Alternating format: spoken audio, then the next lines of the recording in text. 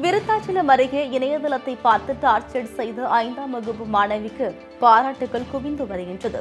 கடலூர் மாவட்டம் விருத்தாச்சலம் அடுத்த மருங்கூர் கிராமத்தைச் சேர்ந்த மணிகண்டன் ஜமுனா தம்பதியினரின் மகள் சுடர் தனியார் பள்ளியில் ஐந்தாம் வகுப்பு படித்து வரும் இவர்களிடம் ஏழாவது ப்ராஜெக்ட் ஒர்க் செய்து வர வேண்டும் என்று ஆசிரியர் கூறியுள்ளார். இதையடுத்து மாணவி சுரல் தனது அப்பாவின் மொபைல் மூலம் இணையதளத்தில் வெளியாக ப்ராஜெக்ட் ஒர்க் தேடி தேடியுள்ளார். அப்போது எளிமையாக பென்சில் மூலம் டாட்லிட் செய்வது குறித்து வீடியோவை பார்த்து அதற்கு தேவையான பொருட்களாக வாங்கி டாட்லிட் செய்துள்ளார்.